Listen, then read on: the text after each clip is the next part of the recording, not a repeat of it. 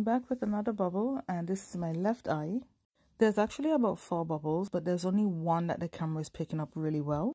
And there's also some little like white specks. I have no idea what those are, but there's some white specks just floating around in there as well. And so you know the drill. Once we have bubbles, we have to take them out.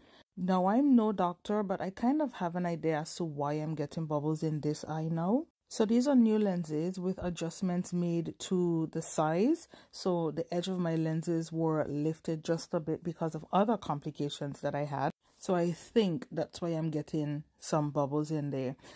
Because these bubbles are coming like after I put my lenses in, not when I put them in. So yeah, taking them out and I'm just going to give my eye a rinse since there was also like little specks of stuff. And I'm just going to try to get all of that out and then get the lenses back in. And this video is a perfect example of why I always say make sure you're holding your lid. You're going to see that I'm going to flinch and then my top lid comes down a bit, stopping me from getting them in properly. On the second attempt, you can see how I'm holding the lids a little more firmly and I'm actually holding them on the edge.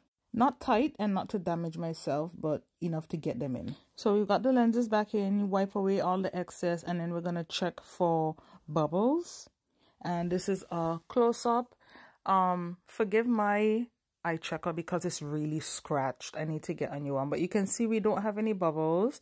Here's a different view again. Fingers crossed I don't get any more because I am so over this.